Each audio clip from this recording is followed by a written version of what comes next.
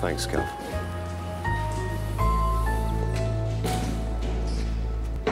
Today's job, right, Donald? You see this boy? I want you to have a look round and see if you can find him. And if you do find him, bring him straight back here and hand him over to Whitewash, yeah? Mike? Mike? I really don't think you should involve that young man. I warned Kevin about this only yesterday. It just encourages him to hang around here. If he won't come with you, Donald, just come back here and tell somebody where you saw him, yeah? Rules are rules, Mike. They're there for a reason. There's a reward in it, by the way, Donald. Something really good for your collection, all right?